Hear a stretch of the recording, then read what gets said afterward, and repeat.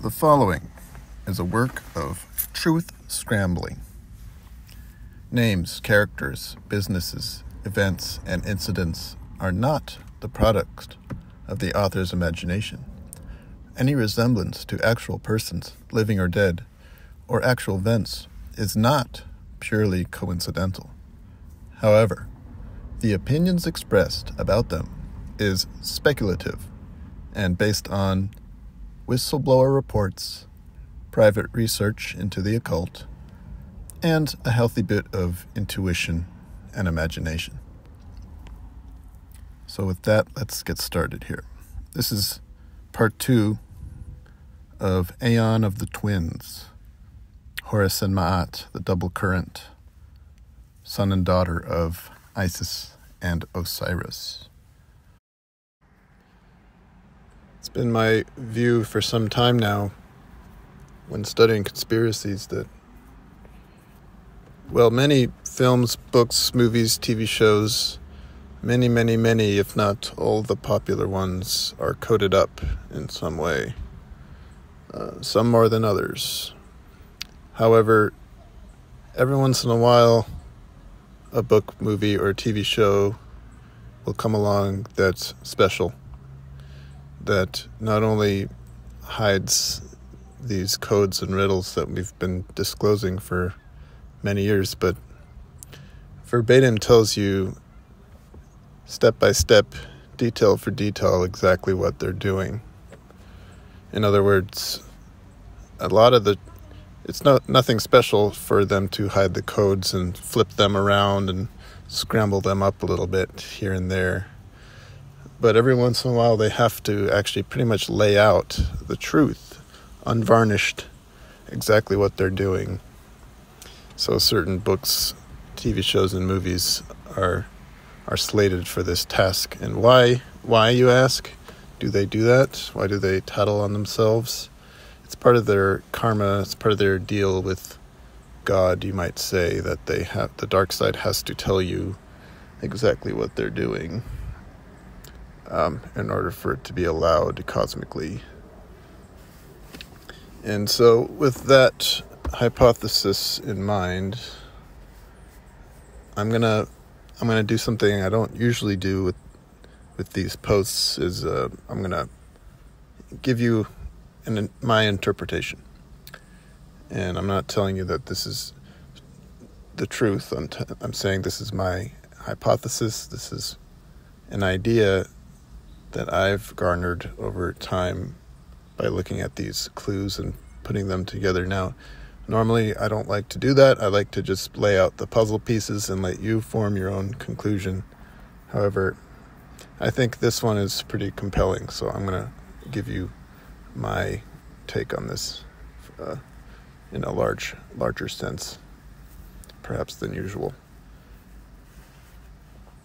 So the special film, book, movie, TV shows that I'm going to be coalescing into one theory here is the novel Middle Game by Seanan McGuire.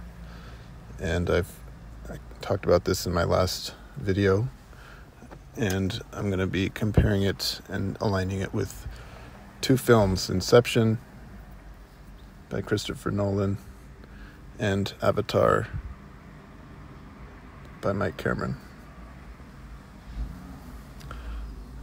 And there might be a few other films and books that come along that are going to tie in nicely. Of course, Back to the Future has a lot of symbol magic and can always tie in with these things.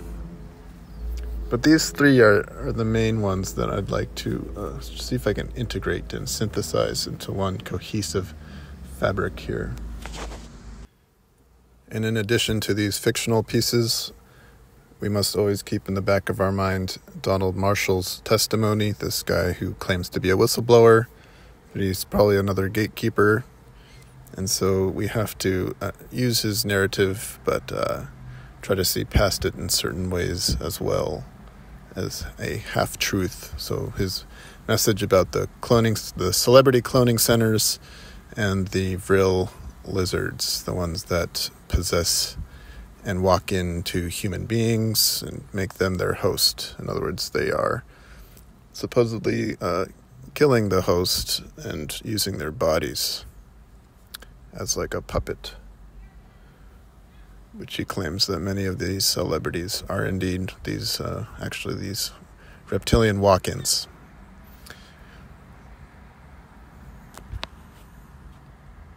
So, with that, let's jump into my hypothesis.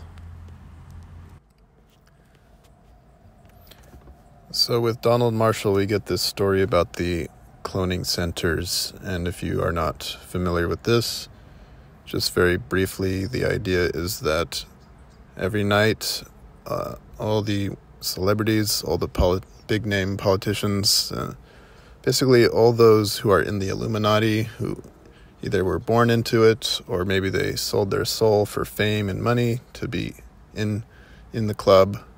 Uh, but however it is they are they they're when they're in REM sleep their consciousness instead of dreaming their consciousness gets uh, transferred or zapped into a clone of themselves. A clone that lies dormant at the cloning center which is a certain floor in the deep underground military bases that are throughout the world. So there's different cloning centers in the, on here on Earth, and uh, so they get taken there, and there's these wicked games, this dirt arena, these death games that get played with these clones. The the victims get tortured there and used and abused, etc., etc.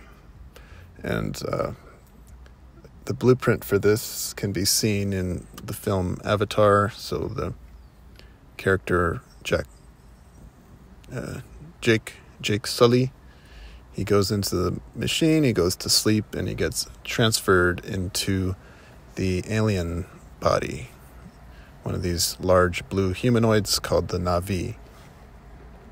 Now the Na'vi are grown in a tank, and they are in perpetual coma unless activated via REM sleep.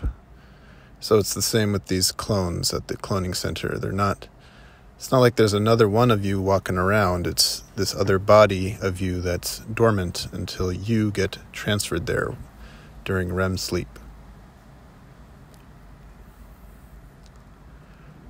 Okay, so now a similar version of this, let's say, is told through Christopher Nolan's Inception, only instead of clones, it's it's uh they they all share the dream. It's the shared dream. So instead of this actual place like a deep underground military base where they all meet up, it's actually a an astral realm, you could say, the dream realm where they can meet up and sh- and share experiences again while asleep. So they all hook into this futuristic high tech machinery and they share one of one person's dream. They all enter the dream as if it's a, a simulation. So this might actually be closer to the truth. I don't know. This might be more like what's happening. There might not be clones in a cloning center physically. This might be just code code language for um, meeting up in the astral realm, the shared dream. And in fact, um, if you read Kenneth Grant's work, he seems to suggest that this very thing is happening. The nightmare sleep that uh, allows for these left hand path initiates to access the tunnels of Set which are the Qliphoth, the realms of the shades.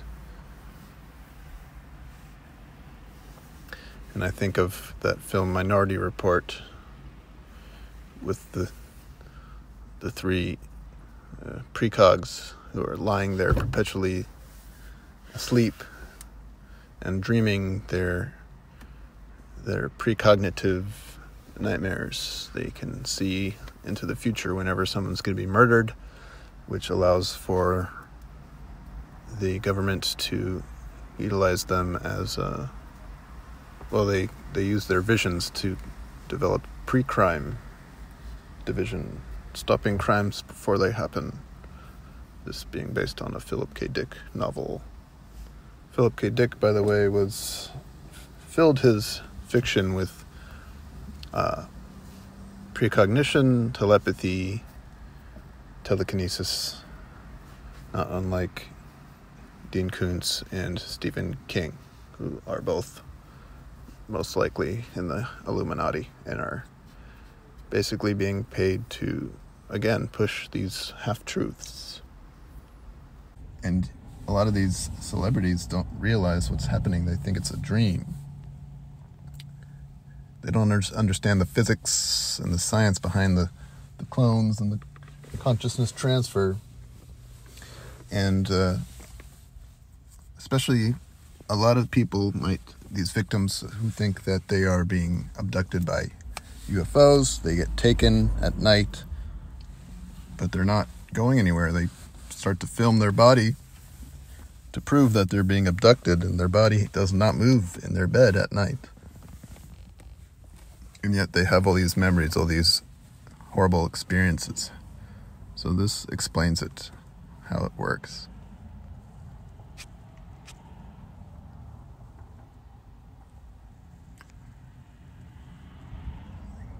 So anything you, let's say you're being tasked to write songs, anything you think, you think of a melody in your head, you're wearing this helmet as a clone at the cloning center and it gets broadcasted through the speakers. So you don't even have to know how to play the instrument. You just have to be somewhat creative and musical and you can create these songs. Okay, so and then on the Donald Marshall Facebook page, they uh, he posted this showing that you know the the science, the mainstream science that is coming out is saying that this is happening. They're converting brainwaves into verbal speech. Of course, what they tell you is always way behind what they actually, the technology that they actually have, way more advanced than what is coming out in the public. So we can run through some songs and films and TV shows and try to get a knack for how they hint at these things in a sideways fashion. Billie Eilish, in an interview, says, I feel like my dreams always happen. And it's caused a lot of issues because I think a lot of people around me know that my dreams happen, so we kind of protect or we stay away from things similar to the dream. Hmm. And this was in a reference to being asked about the song lyric when we all fall asleep, where do we go? Where do we go?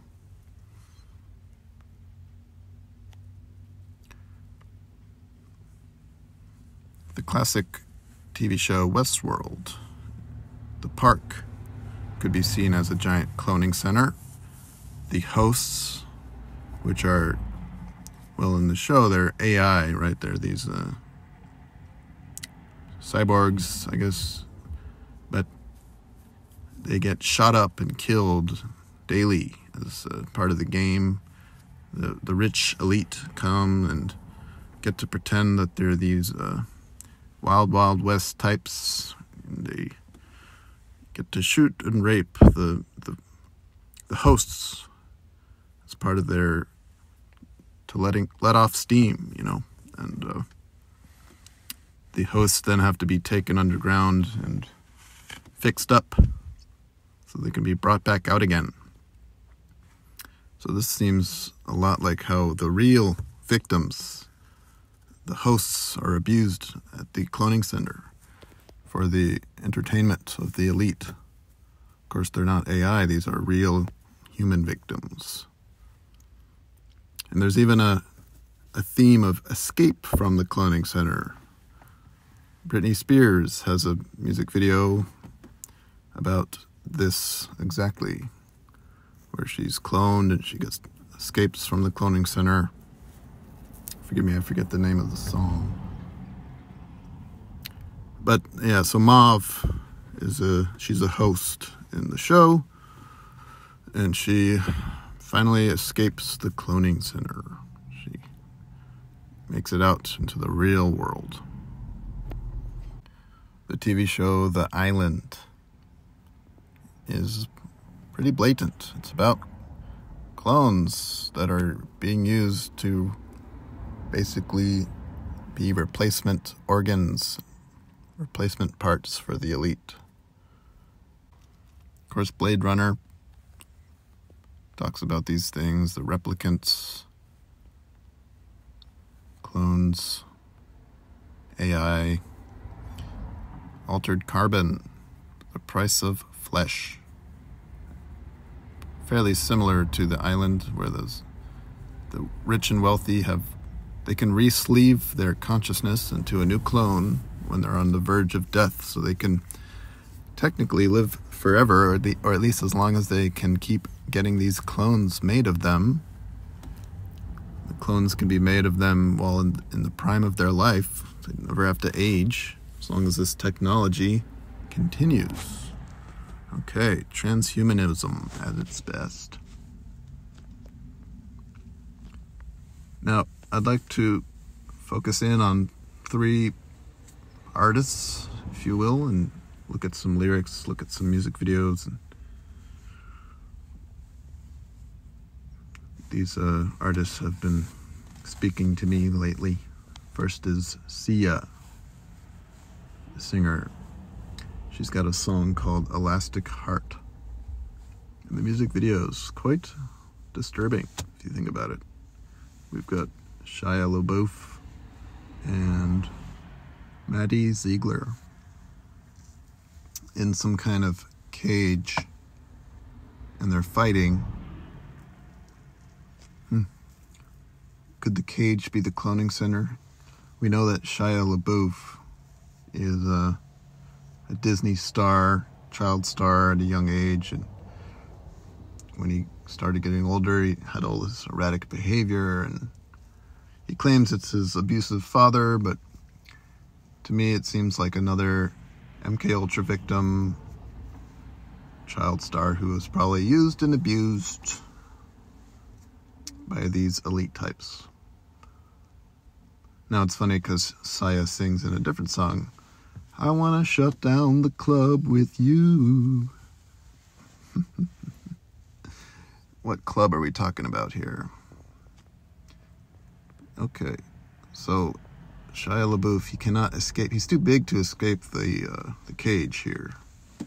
However, Maddie Ziegler is small enough to escape. She can come and go as she pleases. So is she not a victim at all, but maybe one of these elite types? Maybe she's part of an elite family, and she, because the elites go to the cloning center for fun, they can go whenever they want, and observe in the stands while the victims are being forced to go. So she can escape, but he can't. And uh, something about her disturbs me as maybe possibly either, again, this elite type or maybe not even human, maybe uh, possessed. Uh, well, demonically possessed or of real possessed uh, because she keeps doing this thing with her eye and it's the one eye bleeding it's the, the thing that, that goes through the eye socket to penetrate the brain to take over a victim basically to create a host so these these screenshots are all going to show us how a young child is mind controlled through trauma-based mind control to create uh, an empty empty slate that they can program whatever they want into.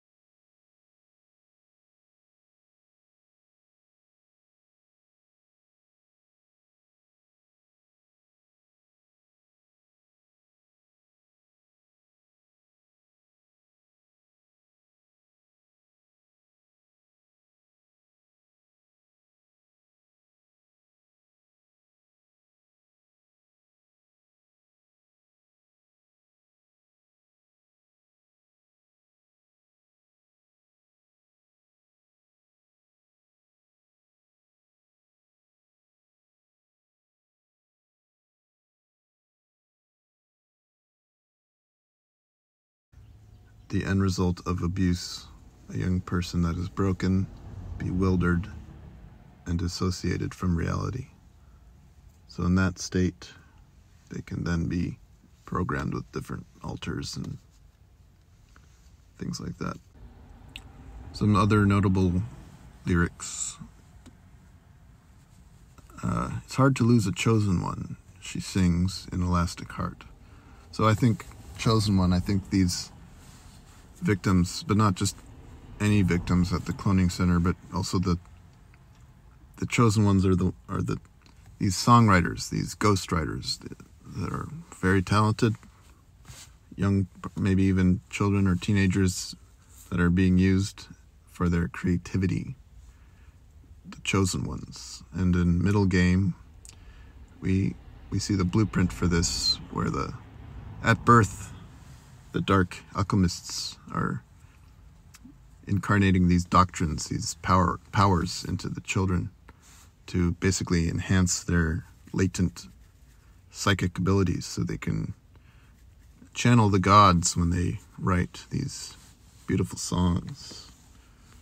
And I believe that the twins are especially used in as a special project because the twins can can work together and write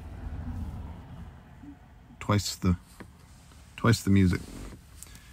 And they can channel the Horus and Ma'at current which Kenneth Grant talks about. But I'm getting ahead of myself. Now she came we came from the same cocoon she sings. In a song called Butterflies. You know, twins come from the same womb, right? And butterflies, of course, is a well, the monarch is a MK Ultra symbol. Now, in the in the book Middle Game, which I went into in the last video, on page 13, it says the doctrine of ethos, as described by Pythagoras, held that certain musical instruments and modes could influence the balance between logos, or rational behavior, and pathos, or emotional thought. So these are the doctrines that are placed into these gifted children, these chosen ones. Now, looking at 21 Pilots, we have a the song called "The Outside." Now, all many of these music videos, uh, there's a story being told that throughout many of the songs in 21 Pilots, and you get a little snippet, a little piece here, a little piece there, but you have to uh, put them all together, piece them all together to get the full story. Otherwise, you're totally confused and baffled. But at the end of one of their songs, we have a, a, a flash. This scene is just flash, not even a second, like half a second. I had to slow down the speed of the of the video just to get this screenshot. Now it looks to me like maybe boy girl twins, Horus and Ma'at. And uh, the angel statue in between them, just like the lover's card. Okay, the lover's card ruled by Gemini, which is the twins.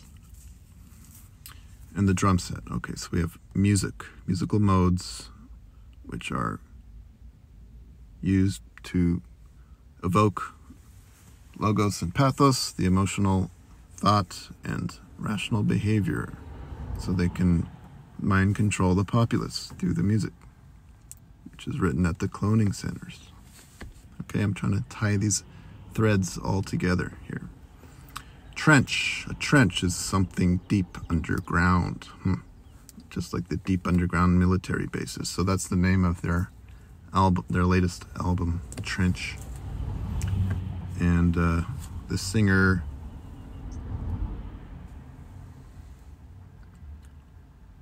blanking on his name, sorry, but he faces off against this Illuminati type, right? This dark looking, freaky looking magician type. Many of their lyrics are very illuminating. Please use discretion in the song called Message Man. He sings, Please use discretion when you're messing with the message man. These lyrics aren't for everyone, only few understand. I'm wanted and on the run, so I'm taking this moment to live in the future. Okay. Ma'at streams from the future towards the present. Horus from the past towards the present. So they are, it's a dual current running from past and future and meeting up at the present, which is why I believe we're seeing these Mandela effects because the future is, in fact, influencing the past. Cause and effect is not how we assume it works. Now, these lyrics here on the bottom look to me like maybe talking about the clone bodies, the jumpsuit. I'm heavy, he sings. My jumpsuit makes me heavy. I'm lighter when I'm lower. I'm higher when I'm heavy. From the song Nico and the Niners.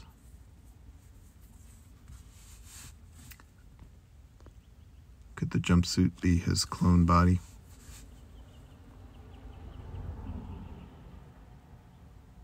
Now, the vulture is a symbol in the occult for the goddess, but the dark goddess aspect, kind of like Kali, if you will, the destroyer. And the vulture pops up in a lot of these music videos in Trench. Okay, Kali feeds on blood, the blood victim.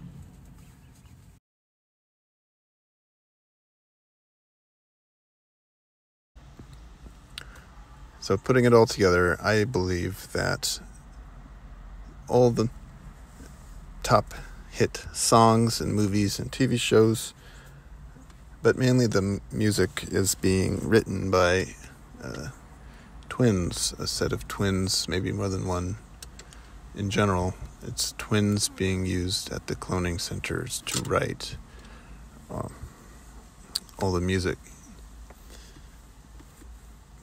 you can use one twin. So they the twins share this connection. So you know one twin can make the instrumental while the other twin sings. You have Horus and Ma'at. Horus being the word, Ma'at being the sound, the, the music, the music of the spheres.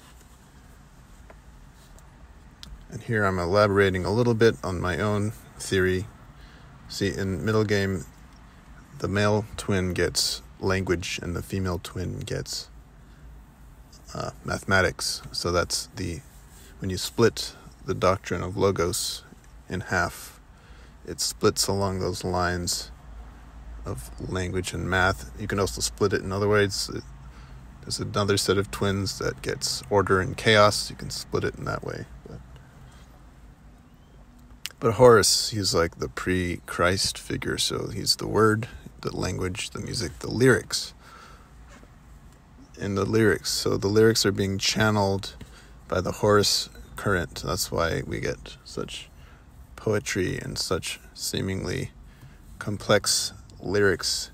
Now, you might say the lyrics aren't that complex, but if you actually look closely, they go above and beyond uh, the capacities of these uh, these idols that are these performers that are right, supposedly writing these this music. It's it's too complex for them. I it's the way that it interlaps and interlinks with so many other uh, pieces of creative output.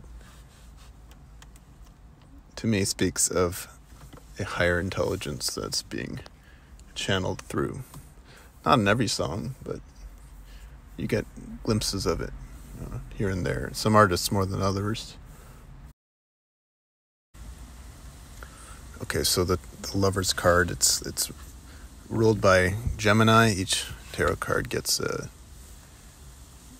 gets a, uh, a zodiac sign assigned to it or a planet.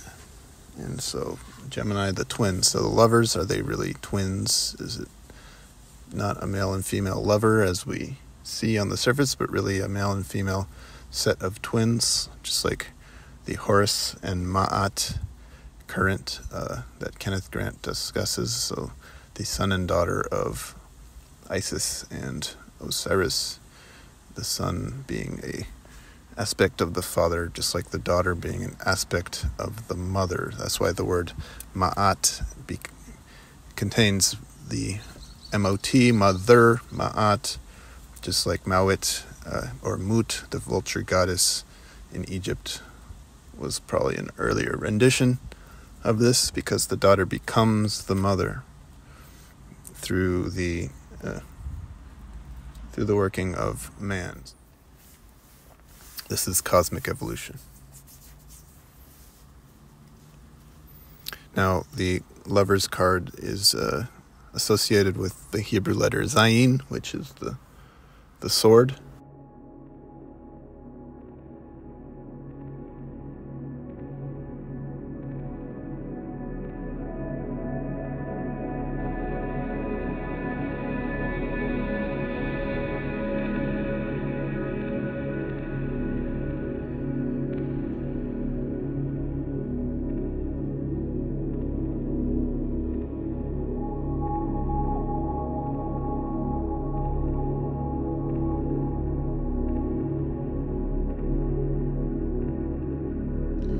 Drop is something I remember Donald Marshall pointing out at one point. Um, and you learn to spot it here and there in these music videos and movies. It's the falling unconscious. It's alluding to when a clone falls unconscious at the cloning center because their driver, their the operating consciousness wakes up in the real world out of REM sleep. And when they wake up, their clone drops to the floor. So Ellie Goulding seems highly suspect to me. If we look at her song Mirror, just the title alone uh, kind of hints at twins. She sings, Are we star-crossed lovers? I look in the mirror. Where do these demons come from? In that song Guns and Horses that we just saw, the drop, the fall, she sings, I left my house, left my clothes. Door wide open, heaven knows you're so worth it, you are.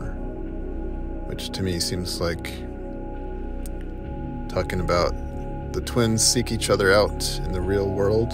So in Middlegame, the they're separated at birth and they have to find each other again. Talked about this in the first video.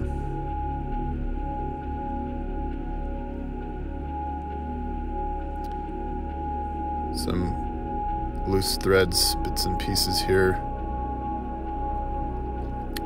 In the song Levitate, where he mentions the vulture, he also says, Cowards only come through when the hour's late and everyone's asleep, mind you okay, asleep in REM sleep, and then sent to the cloning center.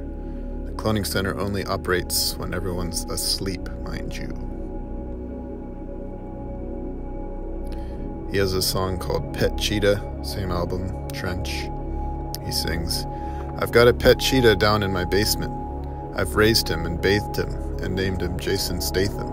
I've trained him to make these beats. Now my pet, pet cheetah's quicker in the studio than on his feet. Hmm. So we have this idea of a of a pet or a slave being forced to make beats. That'll do it for me. Thanks for watching.